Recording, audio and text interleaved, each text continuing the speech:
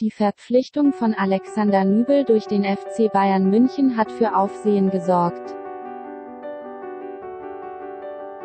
Die Torwartsituation beim Rekordmeister spitzt sich weiter zu. München, nach der umstrittenen Verpflichtung von Alexander Nübel, 23, schließt der Münchner Ersatztorwart Ron Torben Hoffmann, 20, ein Ong-Abschied vom FC Bayern München nicht aus. Wenn mich der FC Bayern als dritter Torhüter sieht und wir in der kommenden Saison in der 3. Liga spielen, bleibt Bayern eine Option für mich. Ansonsten bin ich weg.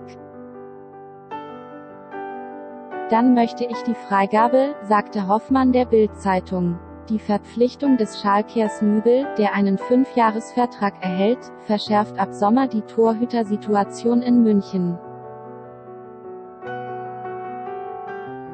Manuel Neuer, 33, ist die Nummer 1 vor Ersatzmann Sven Ulreich 31. Dritter Keeper ist Christian Früchtel, 19, der regelmäßig für die zweite Mannschaft der Bayern zwischen den Pfosten steht. Hoffmann war im Sommer 2015 von RB Leipzig nach München gekommen und ist nur Ersatz hinter Früchtel.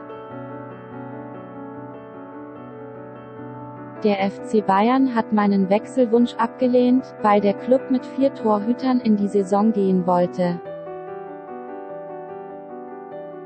Die beabsichtigte Verpflichtung von Alexander Nübel war bei den Gesprächen im Sommer mit meinem Berater kein Thema, ändert meine Situation aber durchaus entscheidend, so Hoffmann.